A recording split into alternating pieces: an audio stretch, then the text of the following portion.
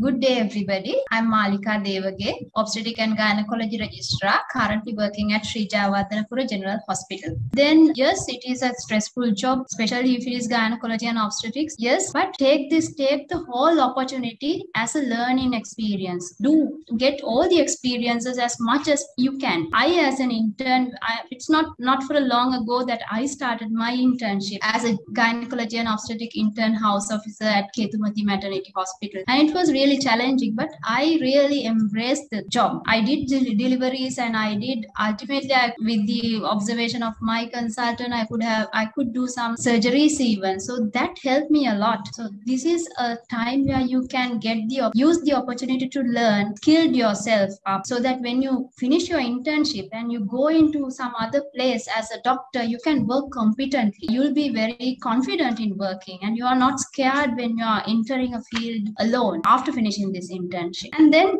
always try to be present in your workplace. I mean i started with the professionalism. Professionalism always comes with your dress code as well. Your attire should look look like a uh, should represent a doctor. So you have to be pleasant when you're working. You have to have good communication skills. And then always respect the others. Respect your colleagues. Respect your patients. And respect your co-workers your nurse officers minor staff. In return you will gain respect. When dealing with patients be very empathic because you may be having a lot of patients in your ward and you may be having a lot of workload in ward but for that particular patient you are the only doctor for them. So whenever they have questions answer their questions. And in a fresh even though you are tired your next patient is another new patient. And for that patient you are you are the only doctor. So honestly when you're treating the patient be honest. Don't do half jobs. Always try to do your maximum to a patient. And in return you in return you will gain this good heart. And you will always cherish